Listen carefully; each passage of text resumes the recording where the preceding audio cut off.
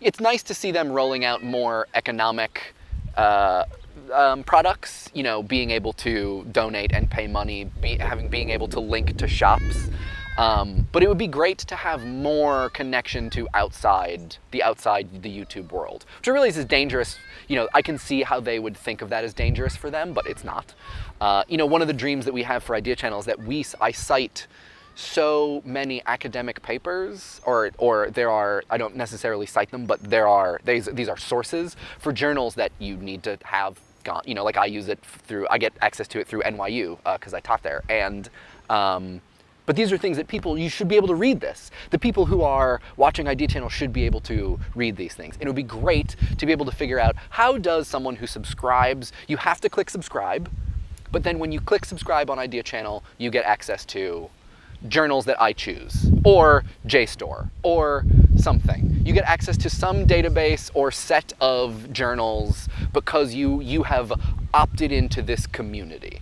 Uh, and I think that kind of thing would be huge. It would, be, it would be such a massive, massive invitation for people to join the community. I was using a I was using a friend's login for like journal access, and then I was using my alma mater like gave me a, like momentary access, and that didn't work out.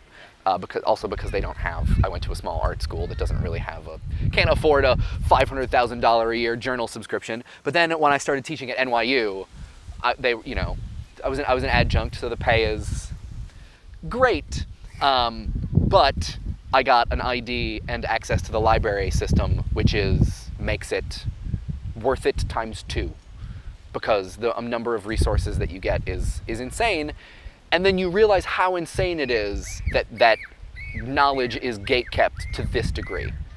You need to teach at one of the best colleges in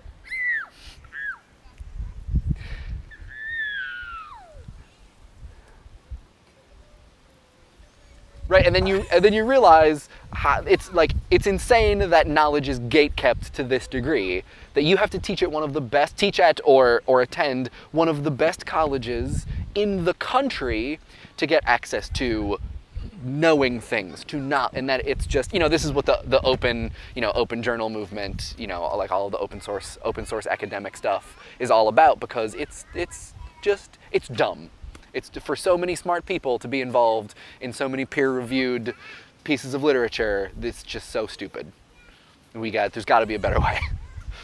And Google should be involved. They should pay for the better way.